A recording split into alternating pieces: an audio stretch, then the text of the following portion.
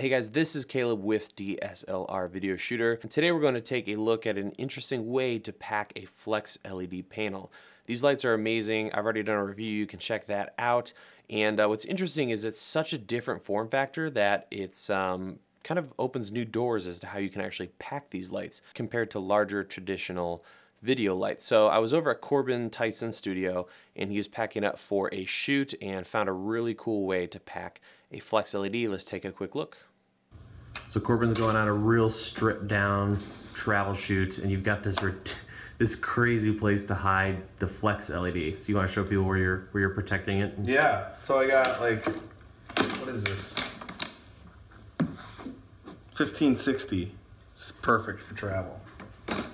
And then uh, I crammed a couple of these light stands in there, like for my road rags and stuff. Some diffusion, flag stuff, little Alzo guy in there. And then, um, so then I was like, I don't want to put the flex light down here because I don't know how durable it is. And then, so I was like, oh, it's got Velcro on it. So I just rigged some Velcro here. So Caleb's letting me road test this sucker this week. So I thought I better protect it so I don't break his stuff. I love it.